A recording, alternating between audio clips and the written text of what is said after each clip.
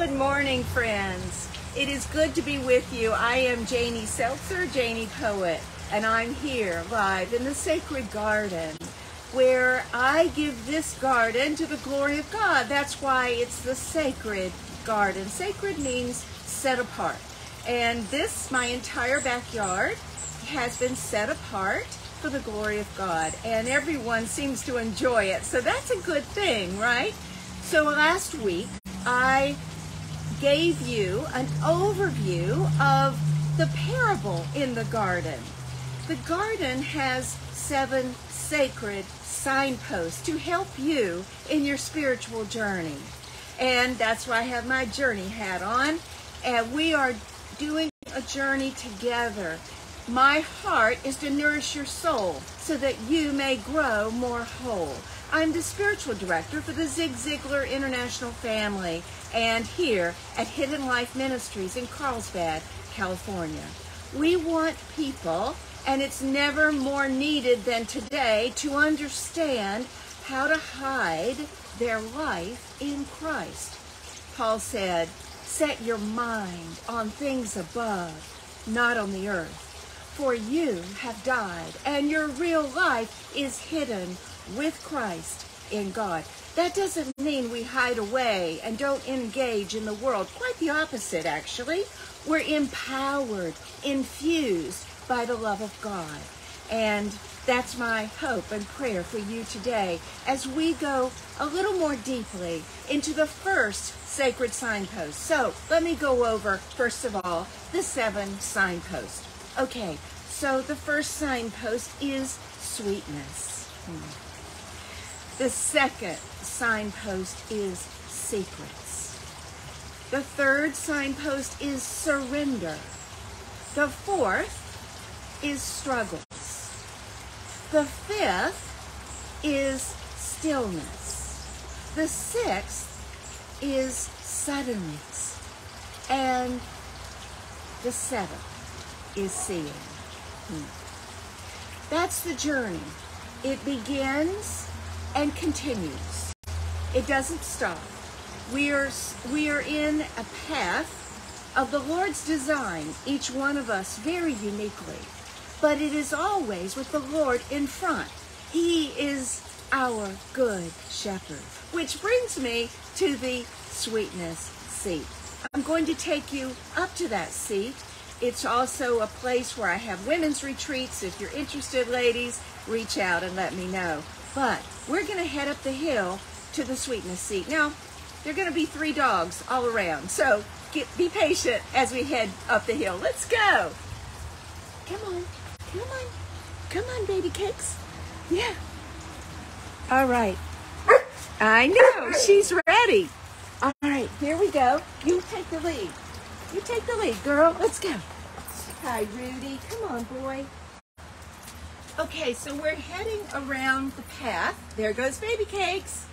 We're headed around the path to the beginning.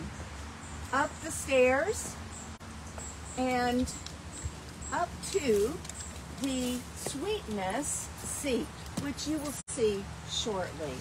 This garden, as I've shared with you, is a garden designed by God's vision within me. I can't explain it. It was quite a journey for me. And it explains the, journey, the spiritual journey. So here we go, baby cakes. We're going to get situated right over here in the sweetness seat. So let me turn the camera around. Okay, here comes Sweden. Hi, Sweden. We even have Sweden joining us today. Hi, girl. It's unusual. She's our, our smallest. She's the queen. she's a she's a sweetheart. She's 13 years old. And here comes Rudy. He can't find a place to sit. Come on, Rue. You can find, come on. Right here. Come on. Yes, there we go. I think everyone has a seat now. And I hope you found a seat. Take your seat and let's talk about sweetness. You know, the human heart longs for beauty. God designed us that way. His intention is that we might come slowly but surely to the realization that He is beautiful. And that would be my topic for today. God is beautiful. Do you realize that? Do you understand and embrace? Maybe not. Maybe maybe you only know a God of wrath. Maybe you were raised in a faith tradition where your fingers were rapped and worse if you didn't do everything right. Um, I know quite a few people with that experience.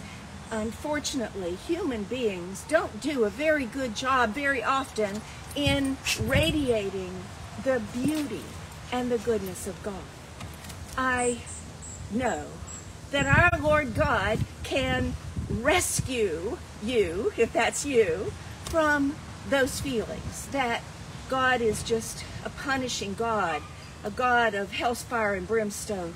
Do you know the truth is that all of that is actually the being separated from God. In other words, when we separate ourselves from God, who is beautiful, all we're left with is darkness and terrible, terrible pain. That's why I'm so passionate to invite you into the beauty of the Lord God. Um, how do I know God is beautiful? Well, first of all, I know God is beautiful by His Word. And I'm going to read an incredible passage, one of my favorites. I always say that, right? um, Psalm 84, if you want to be turning to it. But I also know God is beautiful by my own experience of God. And so what we have is the human experience wrapping itself into the holy experience. That's our goal. Because if we can wrap our hearts around the holy experience, make it our intention to move towards God, we will experience the glory and the beauty of the Lord God. He is our sweetness. And that's why, as infants, it's little infants who are physically born, they need lots of love. They need lots of nurture. And so do new believers in Christ. Lots of love, lots of nurture. And that love and nurture from Jesus will hold them secure as the path becomes more difficult. I personally can attest to that. My experience has shown me that the Lord nurtured me with so much love for so long that when the storms of life came, and they did, I still believed. Even though it was hard, and even though my feelings didn't feel that way, I still believed that God was good, that He would rescue me out of this dark place into His light, which He did. So turn with me for a few minutes. I'm going to read to you Psalm 84. It is um, a stunning psalm. How lovely is your dwelling place, O Lord of heaven's armies. I long, yes, I faint with longing to enter the courts of the Lord. With my whole being, body and soul, I will shout joyfully to the living God. Even a sparrow finds a home, and the swallow builds her nest and raises her young at a place near your altar. O Lord of heaven's armies, my King and my God, what joy for those who live in your house, always singing your praise. What joy for those whose strength comes from the Lord, who have set their minds or their hearts on pilgrimage. There's intention right there. Who have set their hearts on a pilgrimage to Jerusalem or to the Lord God Himself.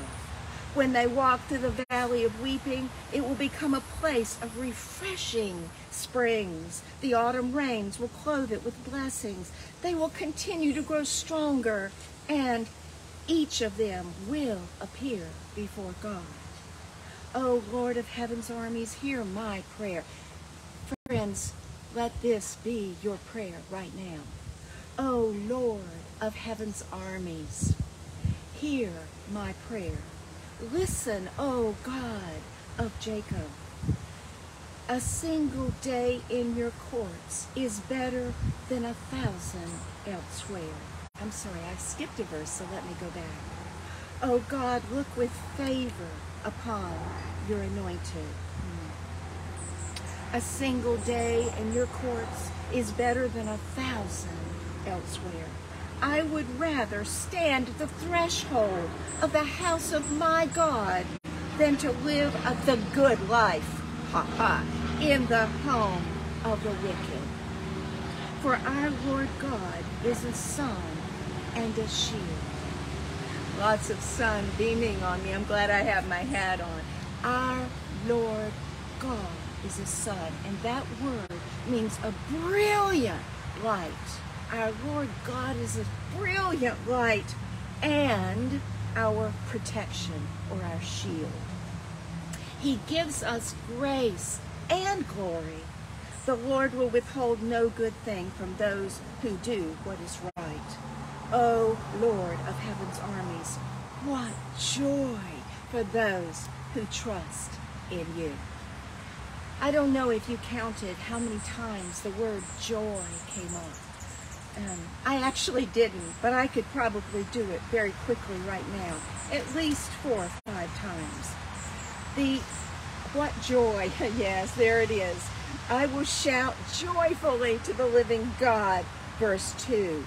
Verse 4, what joy for those who live in your house. What was that? Not, you're going to hit me with a stick. Not, you're going to tell me everything I did wrong. Not, you're going to beat me down until I submit. No. What joy for those who live in your house. That's what you have to look forward to, friends. If you set your heart and mind towards pilgrimage with Jesus, He's the one who knows the way. He is the way. He is the good shepherd. Tell Jesus, be my shepherd. Show me the path. And may I experience your nurture, your joy, your comfort. May I be your child.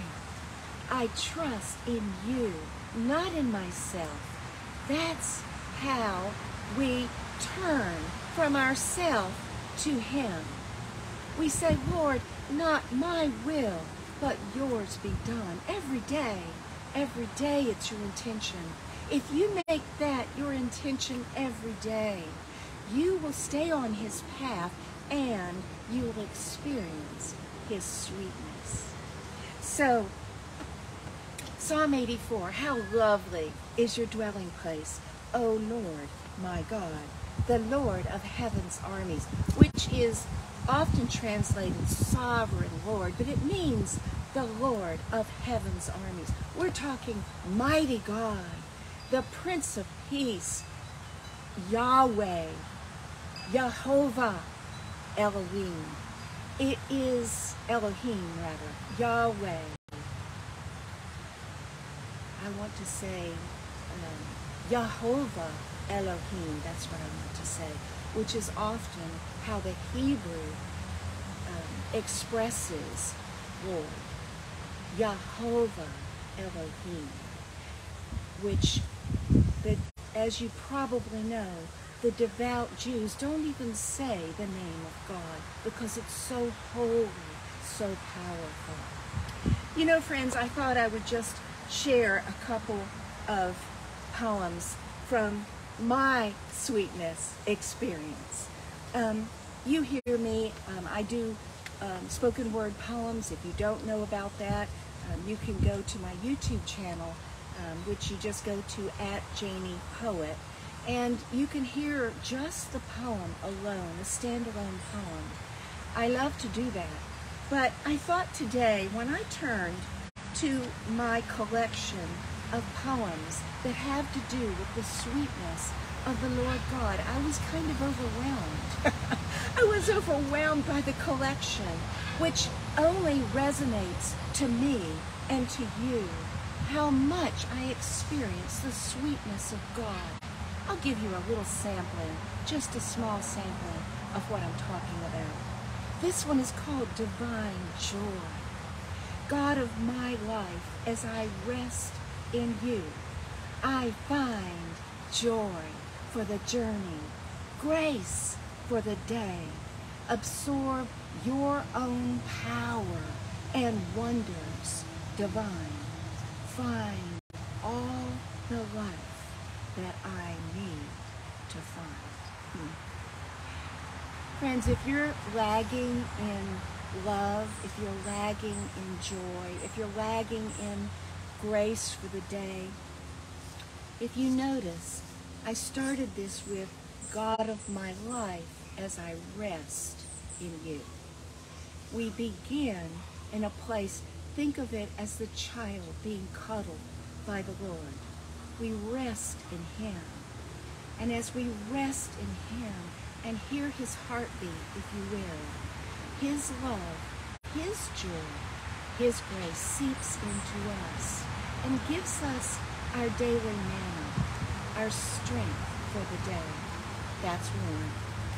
Here's one about the sweetness of Jesus himself. I'll just read a portion of this poem. It's called Jesus of Nazareth. Jesus of Nazareth, calm, confident, creator of the universe, humble Savior, shepherd, king, without pomp or the need for applause. He is the giver of justice, the healer of the injured, beautiful in gentleness, kindness, truth, full of goodness for the bruised, broken, beleaguered. He will not reject, cast aside, dismiss, or overlook the poor in body or spirit. He is generous in grace. And then this one. Hmm. This is one of the earliest poems that I wrote about the sweetness of the presence of God, and it remains one of my favorites. Beauty touches the heart when Jesus comes, lifts into flight what's lost in deep night, loves into life, quiets strife, makes eyes bright. Friends, there was a time in my life when the brightness was out of my eyes, and I was lost in darkness, not of my own doing, but the result of being caught up in some terrible circumstances with my extended family. I didn't know where to turn. And so I would turn to Jesus, just crying out and saying, Lord, I need you. I need your help. I, I don't desire to keep going. I'm so broken. And he loved me. He loved on me and in me and through me. And he literally did this in my life. Beauty touched my heart when Jesus came. And he will yours as well. And finally, I could go on and on, literally. I have dozens. I'll spare you today. I'll come back to the sweetness seat. But for today, let me end with this. His face kindles the universe with life and heals the broken heart. Trees and animals thrive, the hills alive with the glory of God. And I, like a child at mother's breast, search his face, so full of grace. Radiance flows, fills steady soul in time and place.